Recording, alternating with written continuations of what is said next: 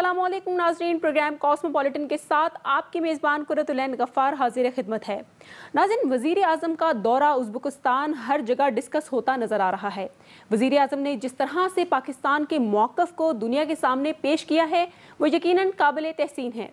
दूसरी तरफ़, आज़ाद कश्मीर इलेक्शन के हवाले से तमाम सियासी जमातें एड़ी चोटी का ज़ोर लगा रही हैं और तकरीबन तमाम बड़ी सियासी जमातों की सियासत इस वक्त आज़ाद कश्मीर इलेक्शन के गिरद घूम रही है।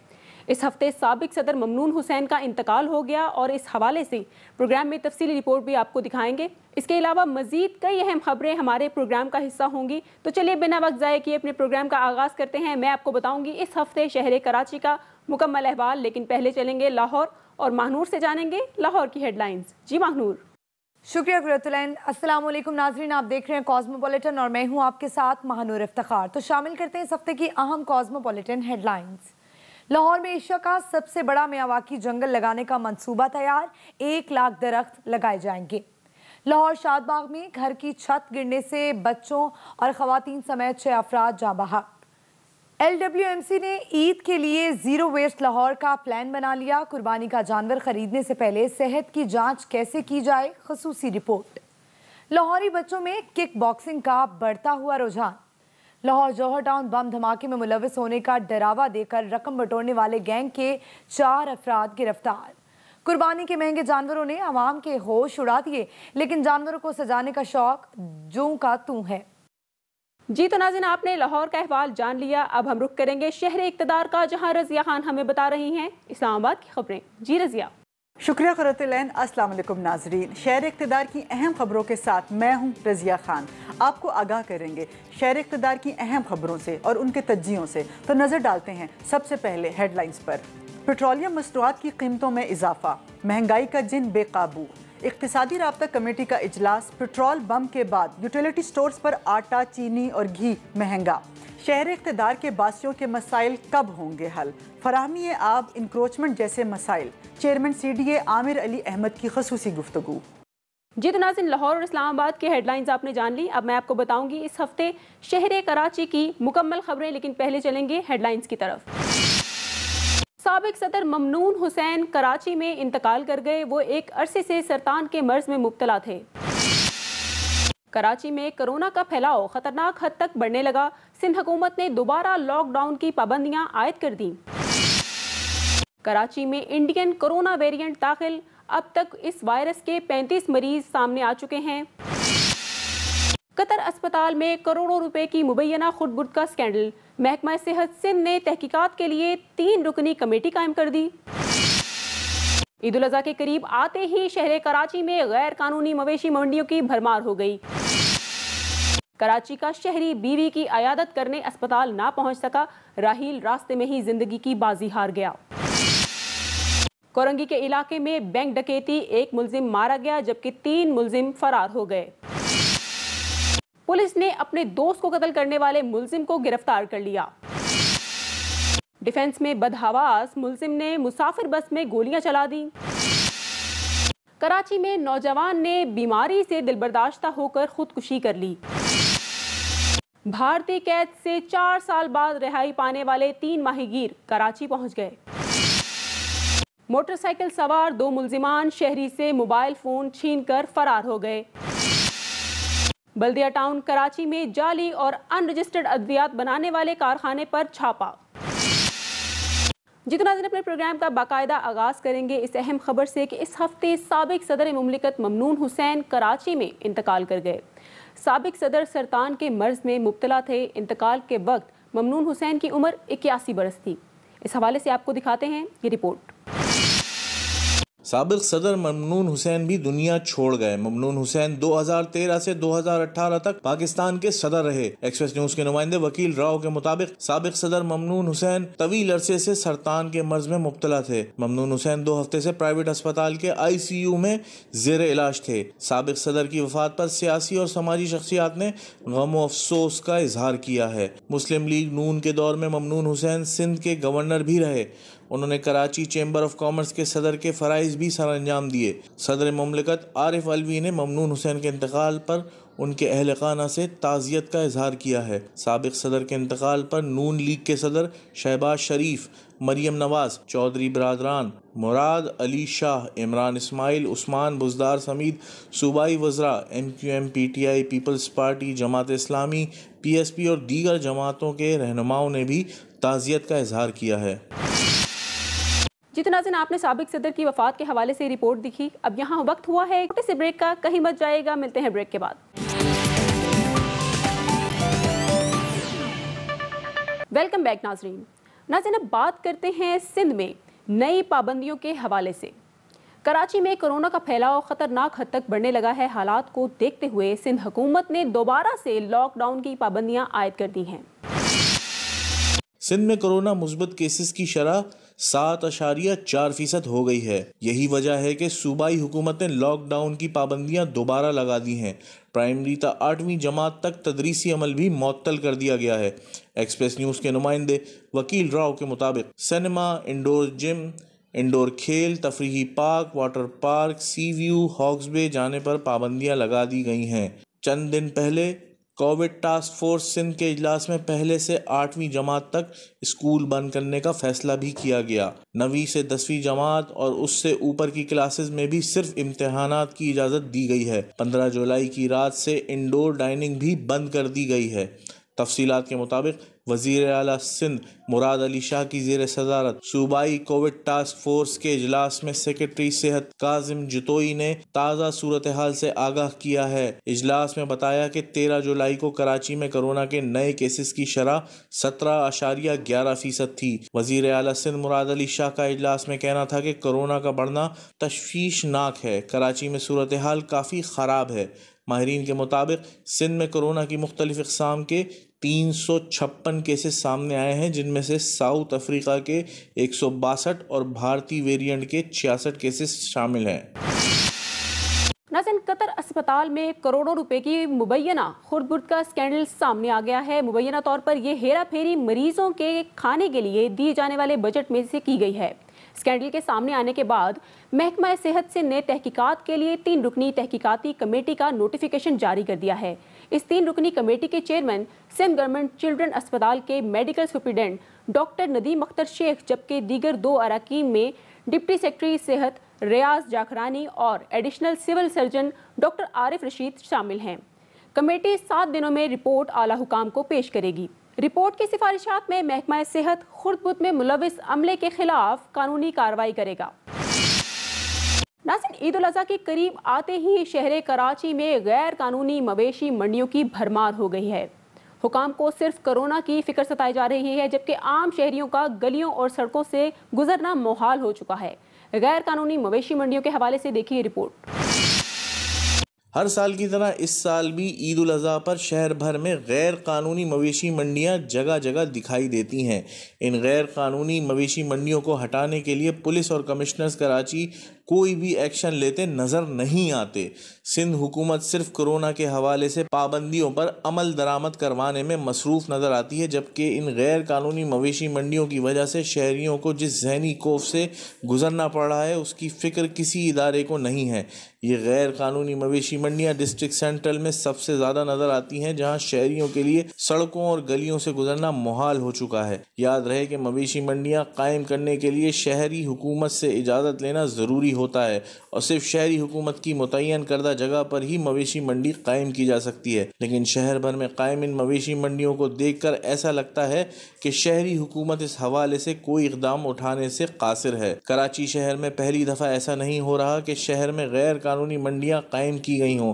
हर साल ईद कुर्बा पर तकरीबन यही सूरत हाल नज़र आती है, लेकिन इस हवाले से शहरी हुकूमत कोई सख्त एक्शन लेती नज़र नहीं आती, जो कि इंतहाई अफसोसनाक बात है।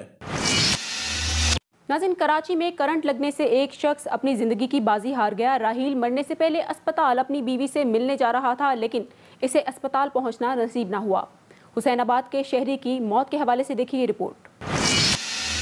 कराची शहर में जब भी बारिशें होती हैं तो करंट लगने से कई अमवात वाक़ हो जाती हैं। कुछ ऐसा ही वाक़ कराची के बदनसीब शहरी राहील के साथ पेश आया। राहील करीमाबाद में एक दुकान पर पंद्रह हज़ार रुपये माहाना की तनख्वाह पर बतौर सेल्समैन नौकरी करता था और उसकी बीवी अस्पताल में दाखिल थी। एक घंटे के बाद डॉक्टर ने बच्चे की विलादत का वक्त दिया था। खुशी से सरशार राहील अपनी बीवी से मिलने अस्पताल जा रहा था कि हुसैनाबाद के करीब सड़क पर जमा पानी में मौजूद करंट लगने से वो मौके पर ही जाँ बहक हो गया। बारिश की वजह से शहरियों को करंट लगने के वाक़ात कराची शहर में नए नहीं हैं। ऐसे वाक़ात कई साल से तवातुर से पेश आ रहे हैं, जो कि इंतहाई अफसोसनाक बात है। नाजिन, कराची में डकैती की वारदातें थमने का नाम नहीं ले रही। हर रोज शहर के किसी न किसी इलाके में डकैती की वारदात रोनुमा हो रही है। कुछ दिन पहले कोरंगी के इलाके में एक बैंक डकैती हुई, जिसकी सीसीटीवी फुटेजेस पुलिस को मिल चुकी हैं। तफसीलात के मुताबिक चार मुलजिमान बैंक में लूट मार कर रहे थे कि पुलिस मौका पर पहुँच गई। इस दौरान फायरिंग के तबादले में एक मुलजिम मारा गया, जबकि तीन फरार होने में कामयाब हो गए। सीसीटीवी फुटेज में मुलजिमान शलवार कमीज में मलबूस दिखाई दे रहे हैं और पैदल ही फरार हो रहे हैं। पुलिस वाक़े की मजीद तहकीकात कर रही है। नाजिन कराची में शेरशाह पुलिस ने अपने दोस्त को कत्ल करने वाले मुलजिम को गिरफ़्तार कर लिया है। पुलिस के मुताबिक चंद रोज कबल शेरशाह के इलाके में मलिक शेर नामी शख्स को इसका दोस्त फैसल कत्ल करके फरार हो गया था। दोनों दोस्तों के दरमियान रकम का तनाज़ा चल रहा था। आखिरकार पुलिस ने मुलजिम फैसल को गिरफ़्तार कर लिया है। मुलजिम से मजीद तहकीकात का आगाज़ कर दिया गया है। नाजिन, आपको बताएँ कि कराची के इलाके डिफेंस में बदहवास मुलजिम ने मुसाफिर बस में गोलियाँ चला दी, जिससे बस के अंदर मौजूद दो खवतान जख्मी हो गईं। एसएसपी साउथ जुबैर नज़ीर शेख के मुताबिक ये वाक़ डिफेंस लाइब्रेरी के करीब पेश आया। गश्त पर मामूर पुलिस ने एक मुशतबा शख्स को रोका तो वो भागा और चलती बस पर चढ़ गया। गिरफ्तारी से बचने के लिए मुलजिम ने बस में गोलियाँ चला दी। फायरिंग की वजह से बस में मौजूद दो खवतान जख्मी हो गईं। पुलिस ने मुलजिम को गिरफ़्तार करके थाने मुंतकिल कर दिया है। और कराची में नौजवान ने बीमारी से दिल बर्दाश्ता होकर खुदकुशी कर ली। 28 साल रियाज ने एमेजिना रोड पर ताज कॉम्प्लेक्स से छिलांग लगाकर खुदकुशी कर ली। पुलिस के मुताबिक नौजवान ताज कॉम्प्लेक्स में कायम प्राइवेट अस्पताल में इलाज के लिए आया था। इसे बुखार की शिकायत थी। डॉक्टरों ने टेस्ट की रिपोर्ट के बाद बताया कि वो टाइफाइड में मुबतला है। नौजवान का ताल्लुक लसबेला से था। पुलिस ने लाश लवाहिकीन के हवाले कर दी है।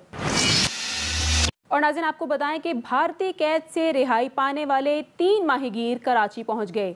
इन माहीगीरों का ताल्लुक कराची से था। इन माहीगीरों को 2017 में समुद्री हदूद की खिलाफ वर्जी के इल्ज़ाम में भारतीय सिक्योरिटी फोर्सेस ने गिरफ़्तार कर लिया था। ये माहीगीर 28 जून को वाहगा के रास्ते लाहौर पहुँचे थे, जहाँ इन्हें करंतना में रखा गया था। हुकाम का कहना है कि भारत की मुख्तलिफ़ जेलों में अब भी बानवे पाकिस्तानी कैदी मौजूद हैं। कराची के इलाके डिफेंस व्यू में मोटरसाइकिल सवार दो मुलजिमान शहरी से मोबाइल फ़ोन छीनकर फरार हो गए। इस वारदात की सीसीटीवी फुटेज सामने आ चुकी है। फुटेज में देखा जा सकता है कि दोनों मुलजिमों में से एक मोटरसाइकिल से उतरते ही असला निकालता है और कार सवार से मोबाइल फ़ोन छीनकर साथी के साथ फरार हो जाता है। मुतासरा शहरी अपना असला निकाल कर मुलजिम का ताकुब करता है, लेकिन मुलजिमार फरार होने में कामयाब हो जाते हैं। कराची में राह चलते शहरियों की लूटमार की वारदातें अब रोज का मामूल बन चुकी हैं।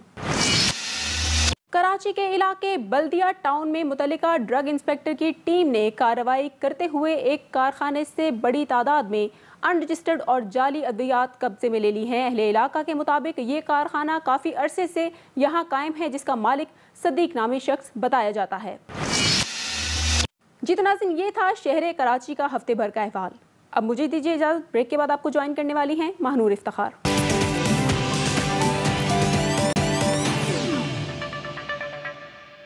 वेलकम बैक नाजरीन। तो सबसे पहले आपको बताएँ कि वजी अला की हिदायत पर पी एच ए लाहौर शहर में जंगलात लगाने का बड़ा मनसूबा तैयार कर लिया है।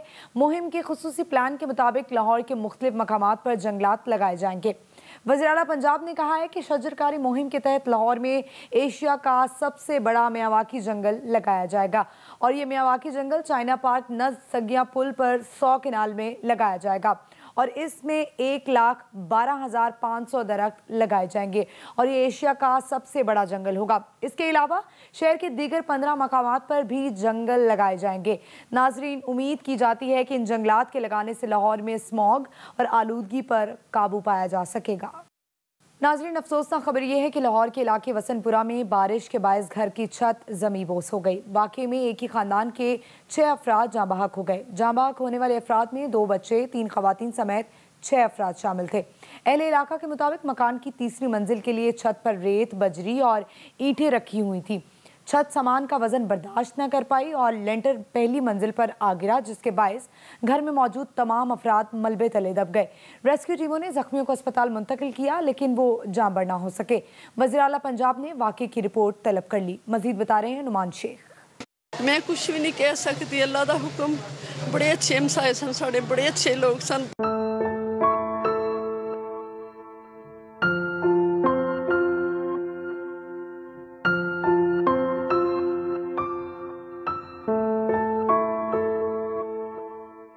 लाहौर में अलमनाक हादसा।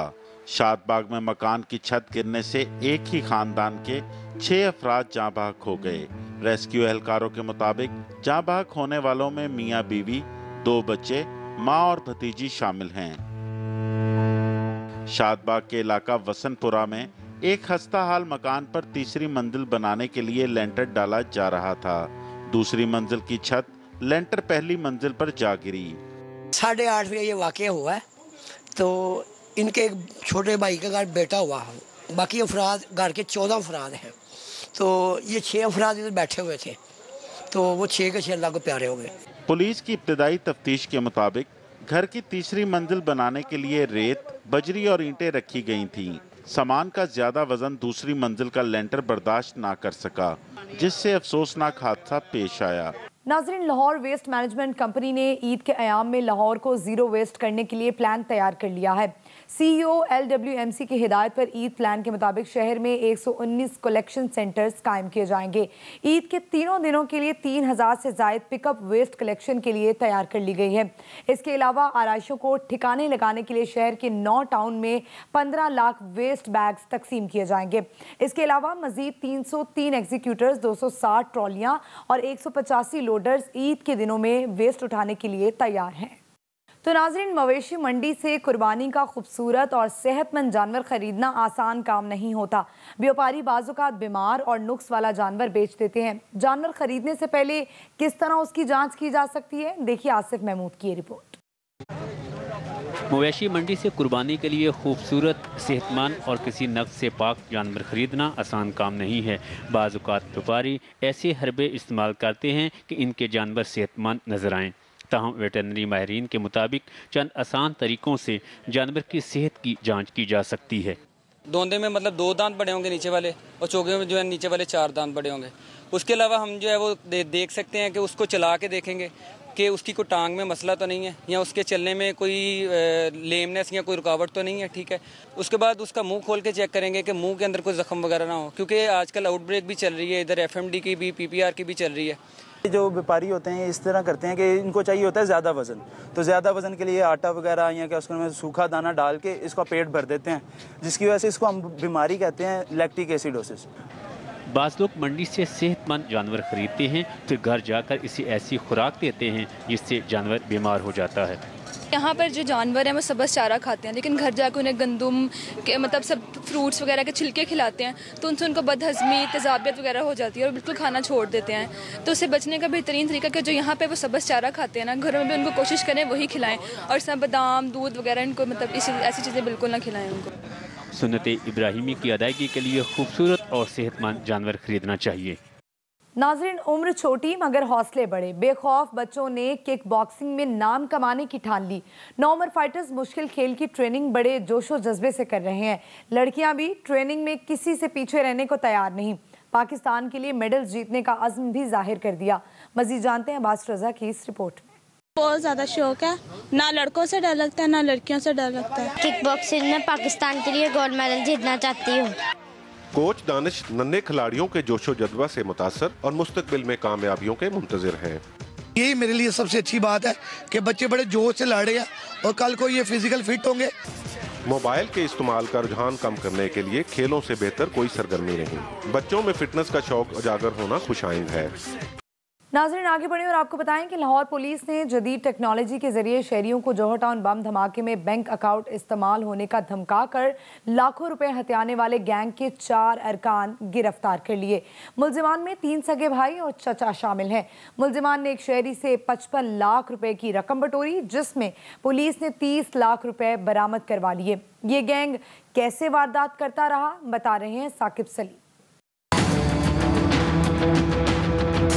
जौहर टाउन बम धमाका में मुलविस होने का डराव देकर रकमें बटोरने वाले गैंग के चार कारिंदे ग्रीन टाउन पुलिस लाहौर के हाथों गिरफ़्तार। कसूर के इलाके खुडिया से ताल्लुक रखने वाले ये चार मुलजमान जदीद टेक्नोलॉजी के ज़रिए शहरियों की जाती और बैंक की मालूम हासिल करते थे। एस पी सदर हफीजुररहमान बुकटी ने बताया, जौहर टाउन की एक फैमिली से पचपन लाख रुपए की रकम बटोरी गई और कुछ दिनों बाद मजीद रकम का मुतालबा कर दिया। पीसफुल शहरी है, जब उनको बताया जाएगा की जी आपके अकाउंट फलाम बैंक में और उनका बैलेंस ये है और आपके अकाउंट के बैलेंस के पैसे इन इन जो है ना वारदातों में इस्तेमाल हुए हैं। इन इन इन से तो उन्होंने इनसिक्योर फील करना था।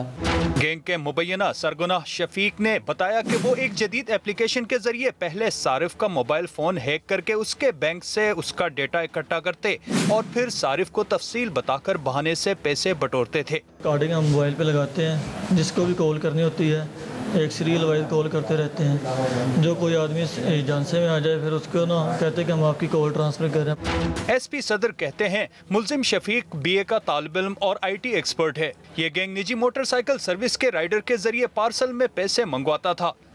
नाजिन, कुर्बानी के जानवरों की होशरुबा कीमतों ने व्यापारियों और ख़रीदारों दोनों को चकरा कर रख दिया है।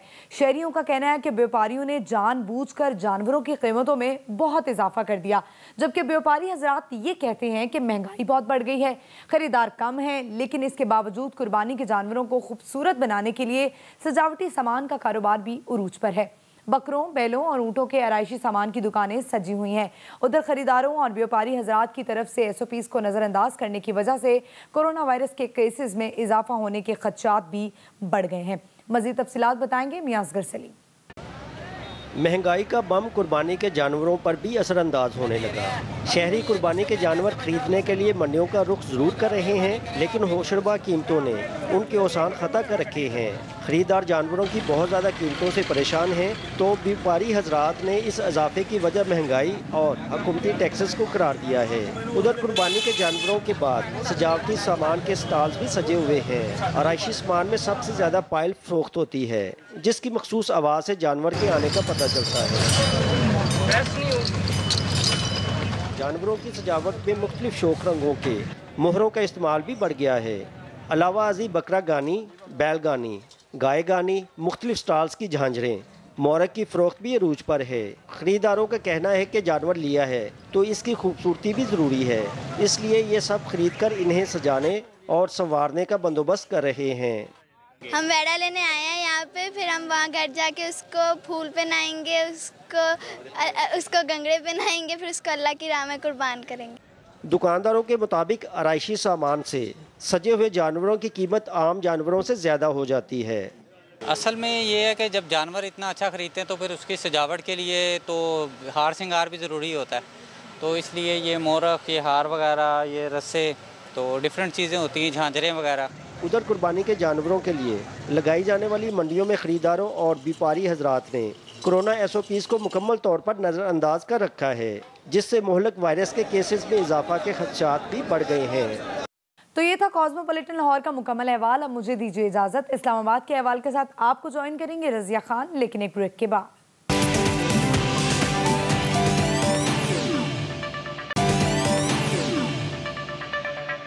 तक इस्लामाबाद के बासियों के मसाइल मुकम्मल तौर पर हल नहीं हो सके। शहर इकतदार को मजीद खूबसूरत बनाने के लिए सी डी ए क्या किरदार अदा कर रहा है? और फराहमी आब और इंक्रोचमेंट जैसे मसाइल से निमटने की आइंदा हमत अमली क्या होगी? इस हवाले से हमारे साथ मौजूद हैं chairman C D A Amir Ali Ahmed साहब। बहुत शुक्रिया आमिर साहब आपका वक्त देने के लिए।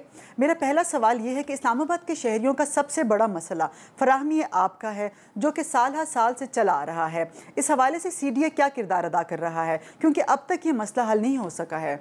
आपने बिल्कुल ठीक कहा है, इस्लामाबाद में सबसे बड़ा इशू जो है वो पीने के साफ़ पानी का है। इस पर अनफॉर्चुनेटली पिछले कई सालों में बल्कि दिहाइयों में कोई काम नहीं किया गया। इस्लामाबाद में पानी की जो जहाँ स्टोरेज है, उसे बढ़ाने के लिए भी कोई कोशिश नहीं की गई, कोई काविश नहीं की गई। जब से ये ज़िम्मेदारी हमें दी गई है सी को इससे पहले ये एम के पास होती थी तो तकरीबन आठ माह या से थोड़ा ऊपर हुआ है, जब हमें ज़िम्मेदारी मिली है तो हमने पूरी कोशिश की है कि पानी की सप्लाई में तसलसल भी रहे और बेहतरी भी आए। इस सिलसिले में सबसे पहली चीज़ जो हमने शुरू की है, वो ये है कि रावल डैम में इस्लामाबाद का पानी का शेयर था, जो दो मिलियन गैलन्स पर डे से थोड़ा ज़्यादा था। लेकिन हैरान कन बात है कि इस्लामाबाद ने ये पानी ड्रॉ ही नहीं किया था। मेरे ख्याल में कभी भी शायद ड्रॉ नहीं किया इस पानी को, और इसके लिए एक फैसिलिटी पूरी बनी हुई थी, जिस पे करोड़ों रुपया खर्च किया गया था। लेकिन हमने उसे रिस्टोर किया, ये पानी की सप्लाई में इजाफा किया। इसके साथ साथ हमने जो ख़राब पड़े हुए थे पंपिंग स्टेशंस उनको बहाल किया है। खानपुर से पानी की सप्लाई में हम बेहतरी लाने की कोशिश कर रहे हैं। तो ये है शॉर्ट टर्म मेजर्स जिनके ज़रिए हम पानी में बेहतरी लाएँगे। बट ये भी पानी के मसाइल को पूरी तरह से हल नहीं करता। गाज़ी बरोथा बहुत बड़ा प्रोजेक्ट है। हम अब गाज़ी बरोथा को भी लॉन्च कर, इसके फिजिबिलिटी स्टडी और डिटेल डिज़ाइनिंग की स्टेज पे पहुँच चुके हैं, अलहमदिल्ला। इस पर बहुत गवर्नमेंट का एक ये फोकस रहा है मिनिस्टर प्लानिंग ये बारह कह चुके हैं और हमने अब इस पर काम शुरू करने वाले हैं और बहुत जल्द इस पर भी काम शुरू कर दिया जाएगा। यही अल्टीमेट इस्लामाबाद के पानी के मसले को हल कर देगा। ठीक है, लेकिन एक बड़ा मसला शहर में इंक्रोचमेंट का भी है। जा बजा हमें इंक्रोचमेंट और गैर कानूनी तमीर नज़र आती है, जिससे आम आवाम को काफ़ी मसाइल का सामना करना पड़ता है। सी डी में क्या कर रहा है? अनफॉर्चुनेटली सी डी ए ने इस पर बड़े अरसे से काम नहीं किया था, लेकिन अब हमने इस पर तेज़ी से काम शुरू किया। बहुत से एरियाज़ को रिट्रीव कर दिया गया है। आप श्रीनगर हाईवे को देखें तो वो श्रीनगर हाईवे जिसके ऊपर इर्द गिर्द कंस्ट्रक्शन हुई होती थी, अब वहाँ ना सिर्फ़ कंस्ट्रक्शन गिराई गई, बल्कि अब उस पर दरख्त भी लगा दिए गए हैं, जो इन्वायरमेंट को इम्प्रूव कर रहे हैं। और अब आपको पूरी स्ट्रेच पे ट्री प्लांटेशन नज़र आती है। इसी तरह मार्केट्स में भी इंक्रोचमेंट बेतहाशा है। एमसीआई की रिस्पॉन्सिबिलिटी है, हम डीएमए के साथ कोऑर्डिनेट कर रहे हैं। इसमें हमने पुलिस को भी इन्वॉल्व किया है, ज़िले इंतज़ामिया को भी इन्वॉल्व किया है, ताकि हम ट्रेडर्स को भी मोटिवेट करें कि वो हमारा साथ दें और इन इंक्रोचमेंट्स को हम ख़त्म करें। और ये शहर की जो ओवरऑल एक एम्बियंस बनती है, उसको ख़राब कर देती है चीज़, इसको हमने हल करना है और इसे रेगुलेट करना है। और इन हम इस पर काम कर रहे हैं। हमने कई सेक्टर्स थे जो एडवर्स पोजेशन में थे सीडीए के। सीडीए ने पिछले बीस साल में कोई सेक्टर डेवलप नहीं किया था। हमने ना सिर्फ़ उनको खाली करा दिया है डेवलपमेंट कर ली है और कुछ सेक्टर्स में हम अगले माह बिकॉज़ uh, ये छुट्टियाँ आने वाली हैं वरना हम इस पोजीशन में हैं कि हम लेट्स से मंडे से उन्हें पोजेशन दे सकते हैं लेकिन अब हम इन छुट्टियों के बाद या जुलाई के आखिरी हफ़्ते या अगस्त के पहले हफ़्ते में पोजेशन लोगों को दे देंगे। आमिर साहब वजी अजम इमरान खान मुतद बार कह चुके हैं कि शहर फैल रहे हैं और इस्लामाबाद की हदूद भी काफ़ी तवील हो चुकी है। एक अंदाज़े के मुताबिक शहर इकतदार डेढ़ गुना बढ़ चुका है। शहर को वर्टिकली बढ़ाने में सी डी ए क्या किरदार अदा कर रहा है? देखिए सी डी ए का जो असल किरदार किरदार है वो तो प्लानिंग का था और बिल्डिंग कंट्रोल का था रेगुलेशंस का था। इतने मुश्किल कर दिए गए थे इतने पेचीदा कर दिए गए थे हमारे प्रोसीजर्स को कि लोगों को अप्रूवल्स ही नहीं मिलते थे। और मुझे मतलब ये बड़ी बदकिस्मती है कि अगर हम रिकॉर्ड उठा के देखते हैं तो साल में अगर 20 या 25 अप्रूवल्स दिए जा रहे थे तो इसी पे चीज़ें रुकी थी। उसके दोहरा नुकसान था। एक तो इलीगल कंस्ट्रक्शन शुरू हो गई। कंस्ट्रक्शन तो होनी है, वो रुकती नहीं है। दूसरा ये हुआ रेवेन्यू लॉस होना शुरू हो गया और वायलेशन हो गई। सीडीए ने पिछले साल एक अरब से ज़्यादा अप्रूवल्स की रजीम में वसूल किया है। तो इससे हाई राइज और ऊँची बिल्डिंग्स जो हैं वो बनना शुरू हो रही हैं। इस्लामाबाद में एक बिल्डिंग 300 फुट से ऊँची कंस्ट्रक्ट की जा रही है, तकरीबन 400 फुट, जो कि टॉलेस्ट बिल्डिंग होगी इस्लामाबाद की, और वो रेजिडेंशियल बिल्डिंग है। और अगेन एक उसमें आर्गूमेंट आ जाता है, कई दफ़ा लोग सोचते हैं अच्छा हाई राइज भी हो रही है। तो ये भी इन्वायरमेंटली इसकी क्या इम्प्लीकेशन होंगी? सेवेंटी फुट जो ग्राउंड कवरेज है, वो फ्री रखी जा रही है। फॉर ओपन रखी जा रही है, सिर्फ़ थर्टी फुट पे कंस्ट्रक्शन की जा रही है। और उसे 400 फुट लेके जाया जा रहा है। तो यही एक वो जो एक एक, एक मैकेनिज़्म है कि हम ज़मीन को फ्री करें और हाई राइज की तरफ़ जाएँ ताकि और ये पूरी दुनिया में यही ट्रेंड डेवलप हुआ है और अब हम पाकिस्तान में इस्लामाबाद में भी इस चीज़ को फ़रोग दे रहे हैं। ठीक है लेकिन जैसे इस्लामाबाद जिसे दुनिया के खूबसूरत तरीन दारुल हुकूमतों में शुमार किया जाता है यहाँ आवाम के लिए तफरी मकाम बहुत कम हैं और जो हैं वो जबू हाली का शिकार हैं। आप बतौर चेयरमैन सी डी ए इस हवाले से क्या इकदाम उठा रहे हैं? तमाम पार्क्स 237 पार्क्स टोटल हैं। दो से जायद हंड्रेड परसेंट रिस्टोर कर दिए गए हैं, जो रिमेनिंग हैं, उन पे काम कंप्लीशन के करीब है। अब हमने एक और चीज़ शुरू की है कि उनके ऊपर हम लाइटिंग भी शुरू कर दी है और सटल लाइट्स लगाई हैं, ताकि बहुत ज़्यादा ये भी नहीं है कि हम रोशनी ऐसी तेज़ कर दें, लेकिन एक सिक्योरिटी पर्पज़ के लिए और एक लोगों की कंफर्ट के लिए वहाँ जो जो एक सॉफ्ट लाइटिंग जो है वहाँ हमने इंट्रोड्यूस की है जिससे लोग पार्क्स में इवनिंग्स में भी जाना बल्कि रात को भी जाना शुरू हो गए। इस्लामाबाद में वक्त के साथ दरख्तों की कटाव की वजह से माहौलियाती आलूदगी बढ़ी है।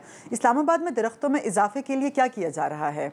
देखिए इस पर एक सर्वे भी किया गया है जो स्पार्को से कराया गया है कि इस्लामाबाद में किस तेज़ी से अर्बनाइजेशन हुई है और ग्रीन कवर ख़त्म हुआ है।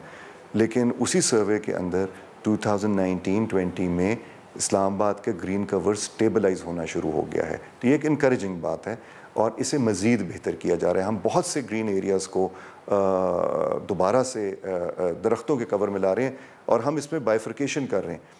सी जो इस चीज़ में ग्रीन कवर को हम ये नहीं ले रहे कि दरख्तों का कवर है। उसको डिफ्रेंशिएट करके ट्री कवर को हम बढ़ाने की कोशिश कर रहे हैं। पूरा इदारा लगा हुआ है और मुझे खुशी होती है कि सिर्फ़ ये नहीं मैं कह रहा कि ये मैं कर रहा हूँ, ये मैनेजमेंट कर रही है। सीडीए का जो ग्राउंड पे आदमी खड़ा है, जो गार्डनर है, जो हॉर्टिकल्चर का बंदा है, जो ड्यूटी अपनी दे रहा है, वो छुट्टी के दिन भी काम कर रहे हैं। आप जब आप शहर पे निकलें तो आप देखेंगे कि वो सैटरडेज संडेज़ वीकेंड्स पे भी काम करते हुए नज़र आएँगे। मैंने जैसे कहा चैलेंजेस बहुत हैं। अभी ये नहीं है कि हर चीज़ ठीक हो गई है, लेकिन सिमत हमारी ठीक है इम्प्रूवमेंट हमने करना शुरू कर दी है। और विजिबल है अलहमदिल्ला। ठीक है आमिर साहब ये भी बताइएगा कि इस्लामाबाद से मुतलिक मुस्तबिल के लिए ऐसे कौन से मनसूबे हैं जो अभी जेर गौर हैं? जब हमने ये टेक ओवर किया सी डी ए ने तो पाँच से सात फ़ीसद स्ट्रीट लाइट्स चल रही थी। बाकी अंधेरे में शहर था। इस वक्त हम पैंसठ से सत्तर फ़ीसद पे आ गए अब रेस्टोरेशन के बाद हम मॉडर्नाइजेशन की तरफ़ भी जा रहे हैं। अब इन स्ट्रीट लाइट्स के अंदर हम इंट्रोड्यूस करेंगे स्मार्ट स्ट्रीट लाइटिंग जो कि बिजली भी कम कंज्यूम करेगी। और जो जैसे शाम होगी या साया आएगा ख़ुद लाइट अप होगी। अभी मैं आपको बताऊँ तरीका यह है कि एक आदमी निकलता है और वो लाइटों को स्विच ऑन करता जाता है। ये तरीका आज के दौर में 2021 में this is not how it should be done और उसको हम अब ऑटोमेशन की तरफ़ ले जा रहे हैं। आ, नाले जो थे हमारे वो गंदे हो चुके थे और ये इनफैक्ट ये साफ़ पानी के नाले थे। इनको गंदा नाले बना दिया गया था। उनको उसमें हमने स्टोन पिचिंग की है। स्टोन पिचिंग एक फ़ेज़ है, इसके अलावा हमने वेटलैंड कंस्ट्रक्शन भी किए हैं। और ये बहुत ज़रूरी था लोगों की, बड़ी इसमें डिमांड थी, कुछ जगह रह गई हैं। वो भी हम जल्द नेक्स्ट दो से तीन माह में कंप्लीट कर देंगे। बहुत शुक्रिया आमिर साहब आपका वक्त देने के लिए। मुल्क भर में कोरोना केसेस एक दफ़ा फिर बढ़ रहे हैं और कोरोना की चौथी लहर का शदीद खतरा है। ऐसे में मास्क का इस्तेमाल यकीनी बनाएँ, समाजी फासले का ख्याल रखें, हाथ सैनिटाइज ज़रूर करें। बतौर कौम, हमें इस वबा को शिकस्त देना है। ये था इस हफ़्ते का कॉस्मोपोलिटन उम्मीद है आपको पसंद आया होगा। मुझे रजिया खान को दीजिए इजाज़त। अल्लाह हाफिज़।